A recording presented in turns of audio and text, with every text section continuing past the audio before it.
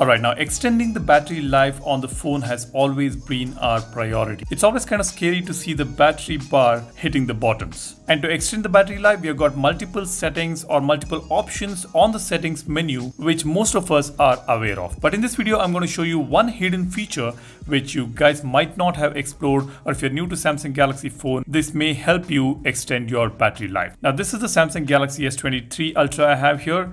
Let's open settings I will tap on battery and device care. Here, let's tap on battery. Now, right on top, we have got this power saving mode, but wait, this is not the hidden feature I'm talking about. Uh, first, let me just explain what exactly power saving mode does. And then I'm going to show you another hidden option, which will help us get the most out of power saving mode. Now, whenever we want to turn on the power saving mode, we will come to this menu and we will toggle this on or we will tap on power saving and switch it on or off right here. At the bottom, you can see we have got few more toggles, which says turn off always on display, limit limit CPU speed to 70%, decrease brightness by 10%, turn off 5G, limit apps and home screens. So these are some of the compromises we have to make when we turn on the power saving mode. Even the motion smoothness will be changed to standard 60 Hz, which is a bummer when we turn on the power saving mode. We do understand that we have to compromise with all these to extend the battery life to the maximum. Now instead, we have got a hidden feature right here. On the top right, we have got this kebab menu or this three dot button.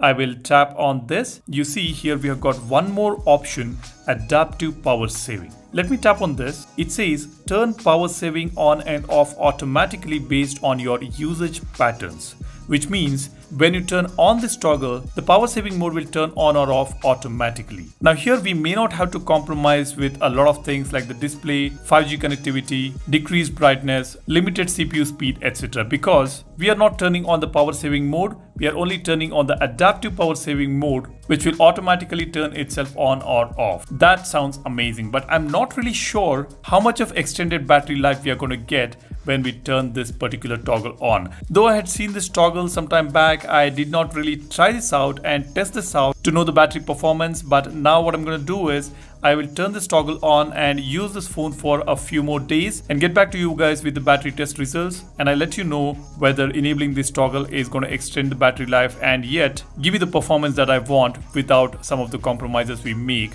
when the power saving mode is turned on. Now this adaptive power saving mode is not the same as adaptive battery which we see on more battery settings. Now let's go back here. Let's scroll down and tap on more battery settings here you see we have got a toggle adaptive battery. This says extend battery life based on your phone usage. Now this does not have anything to do with the power saving mode. However, this does extend the battery life based on your phone's usage. Usually I keep this toggle turned on. I'm sure most of you guys do so. But this seems to be quite different from the adaptive power saving mode. If you are someone who have been using adaptive power saving mode and if you have noticed any difference in the battery performance, do share it in the comment section and do let us know whether it has extended the battery life or not drop a comment. This will help the community. This is what I want to share with you guys in this video. If you haven't subscribed to the channel yet, go ahead, hit the subscribe button and become a part of AppX community to know your phone better. And uh, give this video a like if this is informational. Thanks for watching. My name is Salian signing off. Cheers. Bye-bye.